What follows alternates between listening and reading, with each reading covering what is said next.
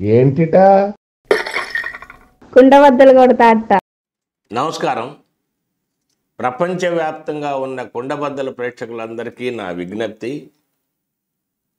కుండబద్దల ఛానల్పై కొన్ని కుట్రలు జరుగుతూ ఉన్నాయి మూయించే ప్రయత్నాలు జరుగుతూ ఉన్నాయి.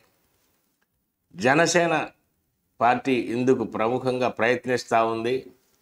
అందుకే ఒకవేళ వాళ్ళ ప్రయత్నాలు ఫలించి కుండబద్దల ఛానల్ అదృశ్యమైతే ఏమీ కంగారు పడద్దు. వెంటనే నేను మరొక మూడు ఛానల్స్లో ప్రత్యక్షమవుతాను. అవి ఒకటి కుండబద్దల టూ పాయింట్ ఓ రెండవది పొలిటికల్ ఆంధ్ర మూడవది గౌతమ్ మీడియా. ఈ మూడు ఛానల్స్ కూడా మనవే.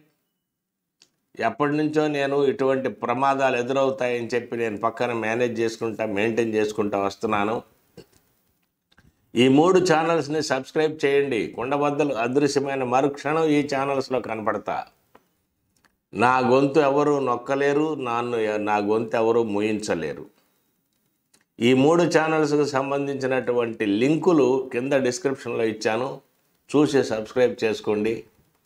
ఇక విషయానికి వస్తే వరద బాధితుల పరామర్శకు వెళ్ళినటువంటి జగన్ రెండు అద్భుతమైనటువంటి ప్రకటనలు చేశాడు. ప్రపంచంలో ఇంకెక్కడ ఎవ్వరు చేయరు అవి. ఏ రాజకీయ నాయకుడు కూడా చేయడు. అవేంటంటే పశువులు కూడా నా పరిపాలన మెచ్చుకుంటాయి అని చెప్పి చెప్పారు జగన్ ఒకటి. ఇది ప్రపంచంలో ఎవడైనా చేస్తాడా ప్రకటన? చేయడు. అలాగే ఇవాళ ఇంకోటి ఏంటంటే మానవత్వం నా ప్రభుత్వంలో ఉన్నంతగా ప్రపంచంలో ఇంకెక్కడా లేదు నేను రాసిస్తానంటున్నాడు. మరి ఏం రాసిచ్చే దానికి ఏం శాంక్టిటీ ఉందో నాకు తెలియదు. ఆయన రాసిస్తే చెల్లుద్దా ఎక్కడైనా? మానవత్వం అంట. ఈ రెండు ప్రకటనల్ని మనం ఒకసారి చూసుకుంటే నిన్న తూర్పుగోదావరి జిల్లా పర్యటనకు వెళ్ళినప్పుడు అక్కడ మన మనకు ఆల్రెడీ తెలుసు ఈ వరదల్లో పశువులు చాలా కొట్టుకుపోయి చచ్చిపోయాయి. ఉన్న పశువులకి పశుగ్రాసం లేకుండా ఆకలితో మాడి చచ్చిపోయాయి. ఇటువంటివన్నీ జరిగాయి. పశుగ్రాసం కూడా సప్లై చేశాం మనము అవి- అవి కూడా మన పరిపాలనని మెచ్చుకుంటాయి అని చెప్పని జగన్మోహన్ రెడ్డి చెప్తున్నారు. పశువులు మెచ్చుకునే పరిపాలనే జగన్మోహన్ రెడ్డి గారు. అందులో సందేహం ఏమీ లేదు. పశువులు ఎక్కడైనా ఎవరి పరిపాలన అయినా ఎలా మెచ్చుకుంటాయి ఏ రూపంలో వాటి ఆమోదం తెలియజేస్తాయో తెలియదు. అది జగన్మోహన్ రెడ్డి గారే చెప్పాలి. నిన్న సెలెక్టెడ్గా సెలెక్ట్ చేసుకున్నటువంటి కొన్ని గ్రామాలకు మాత్రం వెళ్ళి అక్కడ పరామర్శ చేసి ఇంటికి వచ్చేసినటువంటి జగన్మోహన్ రెడ్డి గారు మరి పశువులు కూడా మెచ్చుకోక మరి ఏం ఏం చేస్తాయి జగన్మోహన్ రెడ్డి గారి పరిపాలనని? ఇక మానవత్వం నా ప్రభుత్వంలో ఉన్నంతగా ఇంకెక్కడా లేదని చెప్తా ఉన్నారు. డెఫినెట్గా. డాక్టర్ సుధాకర్ని బట్టలు విప్పి రెక్కలు పెడవిరిచి వెనక్కి కట్టి నడి రోడ్లో కొట్టి పిచ్చాసుపత్రిలో చేర్పించి అతనికి వాడకూడని మందులు వాడి అతను చనిపోయేలా చేసిన ఈ ప్రభుత్వంలో ఉన్నంత మానవత్వం ఇంకెక్కడ ఉంటుంది? మాస్క్ పెట్టుకోలేదని చీరాల్లో కిరణ్ కుమార్ అనే యువకుడిని కొట్టి రోడ్లోనే చంపినటువంటి మానవత్వం ఈ ప్రభుత్వంలో కాక ఇంకెక్కడుంటుంది? ప్రకాశం జిల్లా చెనగంజాములో ప్రత్యర్థి ఇళ్ళపై దాడి చేసి మరి స్త్రీలను బయటికి లాక్కొచ్చి వివస్త్రాలను చేస్తే అవమానం తట్టుకోలేక పరి పరిగెత్తుకెళ్ళిపోయి ఆత్మహత్య చేసుకున్నటువంటి సంఘటనలను మించిన మానవత్వం ఈ ప్రభుత్వంలో కాక ఇంకెక్కడుంటుంది? పల్నాడులో ప్రత్యర్థుల్ని ఇళ్ళ నుంచి పారిపోయేలా చేసి వాళ్ళ పొలాల్ని వాళ్ళ ఇళ్ళని ఆక్రమించినటువంటి మానవత్వం ఇక్కడ కాక ఇంకెక్కడ ఉంటుంది? ప్రతిపక్ష నాయకుడిని పర్యటనలకు వెళ్ళనీయకుండా ప్రతిపక్ష నాయకుడి ఇంటి గేట్లు తా తాళ్ళతో కట్టి పోలీసులు కాపలా ఉన్నటువంటి మానవత్వం ఇక్కడ కాక ఎక్కడుంటుంది మరి తూర్పుగోదావరి జిల్లాలో ఇసుక మాఫియాను అడ్డుకున్నందుకు ఒక దళిత యువకుడిని శిరోముండనం చేసి నీ దిక్కున్న కాడ చెప్పుకోపో అంటే ఆ యువకుడు రాష్ట్రపతికి లే లేఖ రాసుకున్నాడు. నేను నక్సలైట్లో చేరతాను నాకు అనుమతి ఇవ్వండి అని. రాష్ట్రపతి ఆవేదన చెంది రాష్ట్ర ప్రభుత్వానికి ఈ పరిస్థితిపై ఆ- ఆ యువకుడు ఆవేదనపై వెంటనే చర్యలు తీసుకోండి అని చెప్పి రాస్తే అసలు పట్టించుకున్న పాపానే పోలేదు అంటే రాష్ట్రపతినే లెక్క చేయనటువంటి రాజ్యాంగం ఈ రాష్ట్రంలో ఇంతకంటే మానవత్వం ఎక్కడుంటుంది? మరి చిత్తూరు జిల్లాలో డాక్టర్ అనితా రాణి అనే ఒక దళిత డాక్టర్ని బాత్రూంలో పెట్టి తలిపేసి పాములు వదిలే పరిస్థితికి కంటే ఇంకా గొప్ప మానవత్వం ఇంకెక్కడుంటుంది?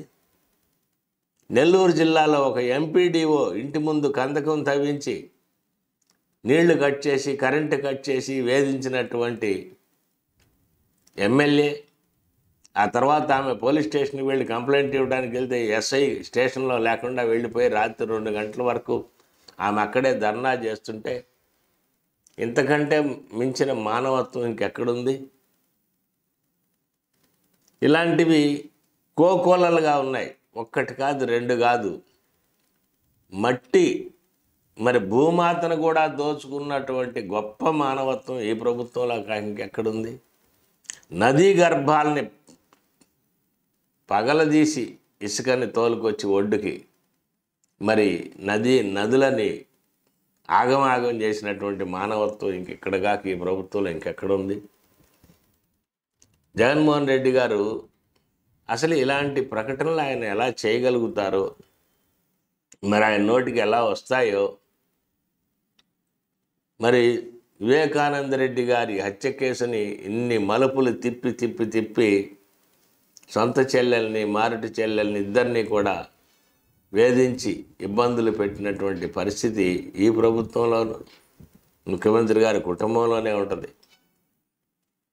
ఇక మరి పశువులు ఎలా మెచ్చుకుంటాయి?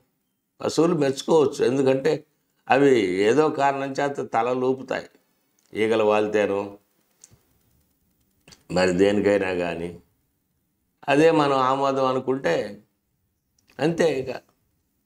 మనం చేసే పనికి మనుషులు ఎవరు ఆమోదం తెలపరు. పశువులు మాత్రం తలలు ఊపుతాయి. ఏదో సందర్భంలో అక్కడే వెయిట్ చేస్తే ఎప్పుడొకప్పుడు ఊపుతాయి.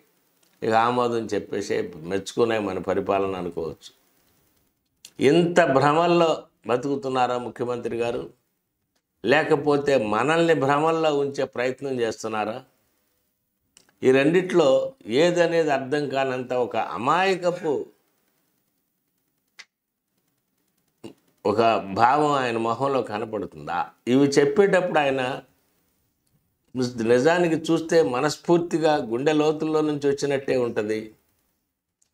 కానీ మరి ఆయనకు తెలియకుండా ఉంటుందా? నేను అబద్ధం ఆడుతున్నానని. అబద్ధం ఆడే వ్యక్తి యొక్క ముఖ కావళికల్ని నిశ్చితంగా పరిశీలిస్తే పట్టుకోవచ్చు. కానీ జగన్మోహన్ రెడ్డి గారిని అది కూడా పట్టుకోలేము. నిజంగా ఆయన గుండె లోతుల్లో నుంచి ఈ మాటలు మాట్లాడతాడు. మరి అలాంటి ఆలోచనలో ఉన్న ముఖ్యమంత్రి గారికి ఈ రాష్ట్రంలో జరిగిన జరుగుతున్న అరాచకాల మొత్తాన్ని ఆయన దృష్టికి తీసుకెళ్ళేది ఎట్లా? తాడేపల్లి గేట్లు తాళాలు వేసుకున్నాడు ఆయన. జనాన్ని రానివ్వకుండా. ఇదే ఈరోజు కొండబద్దలు.